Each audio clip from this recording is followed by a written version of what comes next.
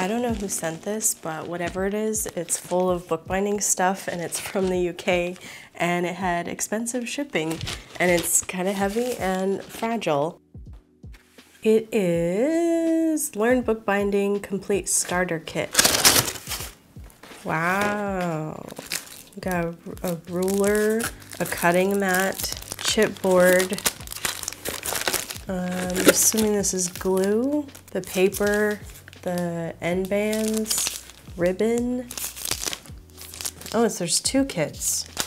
I like the color in the paper. Oh, wow. That's a lot of tools. Maybe a couple glue brushes, um, a clip, a thread, and band for the type of case binding, I think. Uh, wax for waxing the thread, little scissors, an awl with a cork on the end so you don't stab yourself. oh no, oh no, I broke it. I'll super glue this back.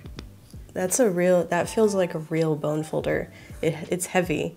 And a utility blade, utility knife. Despite me breaking the awl, I think everything in this kit is good quality. This is advertised as a complete bookbinding starter kit, and it really does have everything you would need to start bookbinding. Specifically, hardcover case binding, and it does come with a very extensive downloadable instruction, and it's about 61 pages. It's a lot, but it definitely does go through every single step, and I really appreciate that there are pictures along with each step. I wish I had something like this when I was starting out bookbinding, so thank you to Mandy Flockton for sending me this. I will link the shop down below if you're interested in checking it out.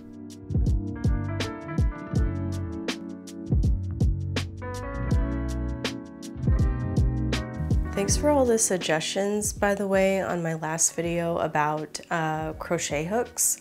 I'm still new to crochet and I want to give it another try after my last uh, fail, crochet fail. I only have a large size hook right now, but I thought maybe there would be some donated crochet hooks at a thrift store. So I went to one and I found like so many different size needle needle or the knitting needles. They had every type of knitting needle, but no crochet hooks. I was really hoping there was a used crochet hook um, maybe I'll need to check another thrift store. The brand that you guys suggested the most in the last video was Clover, and they have the more ergonomic handle, which I think I will like. So I might try one of those, maybe like a pack, maybe.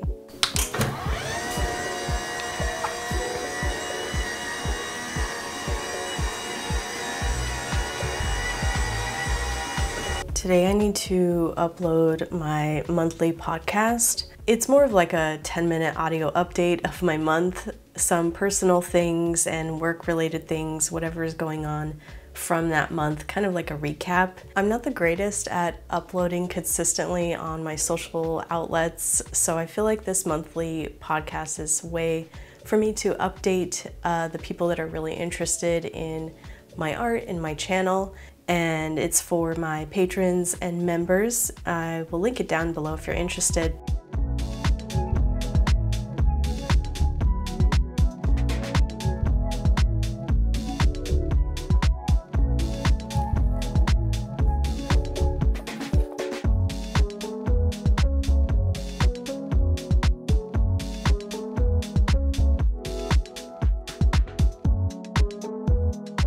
In my last video, I was getting into mixed media and I think somehow YouTube knew that and it started recommending to me a bunch of different uh, mixed media videos and channels and I found this one from Art by M, I think it's called. Really beautiful collage work. She showed her process in her videos and it really inspired me to try some collage. Usually I would think of collage like cutting up magazines, that kind of style never really interested me. But when I saw that she was making her own patterns or painting her own colors to then cut up, that really interests me. It made me want to paint my own textures. I've never done anything like this before, but it really interests me and I feel more excited to play around with it, which is what I want to do more of this year. I definitely like the element of play and improvising. It seems so fun to me right now. I want to make a bunch of different papers with different colors to choose from, different textures, and then have that ready to paint with and glue that to my mixed media paper that I bought. And then I can also improvise like drawing or painting on top of it. I don't know what I'm going to make yet, but uh, maybe something simple. I thought about doing my fruit art challenge again because those are very simple subject matters to experiment with until I get the hang of it and figure out more like complex compositions. More info than you probably wanted, but this is what's going on in my brain. This is what's going on on my workbench, and that's what I'm into right now.